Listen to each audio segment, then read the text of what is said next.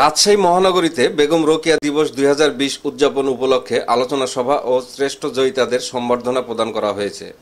আজ বুধবার সকালে মহানগরী সপুরার মানব সম্পদ উন্নয়ন প্রশিক্ষণ কেন্দ্রের হলরুমে জেলা প্রশাসন ও মহিলা বিষয়ক অধিদপ্তরের আয়োজনে এ আলোচনা সভা ও সম্বর্ধনা অনুষ্ঠিত হয়। অনুষ্ঠানে অতিরিক্ত জেলা প্রশাসক মোহাম্মদ শরীফুল হকের সভাপতিত্বে প্রধান অতিথি হিসেবে উপস্থিত ছিলেন জেলা প্রশাসক আব্দুল জলিল।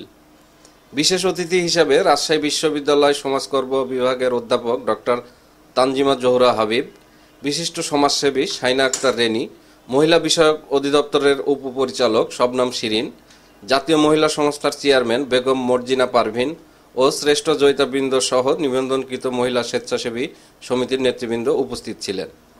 অনুষ্ঠানে বক্তারা বলেন, বেগম রোকেয়া হচ্ছে নারী জাগরণের পথিকৃত সমাজের পিছিয়ে পড়া নারীদের সামনের দিকে এগিয়ে নিতে শিক্ষা ছাড়া কোনো বিকল্প নাই। এটি তিনি উপলব্ধি করতে পেরেছিলেন বলেই তিনি সর্বপ্রথম শিক্ষা নিয়ে কাজ শুরু করেছিলেন। তারই ধারাবাহিকতায় আজ সর্বক্ষেত্রে নারীরা এগিয়ে যাচ্ছে বলে জানান বক্তারা। আলোচনা সভা শেষে জেলা ও মহানগর পর্যায়ের শ্রেষ্ঠ দশজন জয়িতাকে প্রধান অতিথি ক্রেস্ট ও সার্টিফিকেট প্রদান করেন। Selimuddin desk report, Noborup TV, Rajshahi.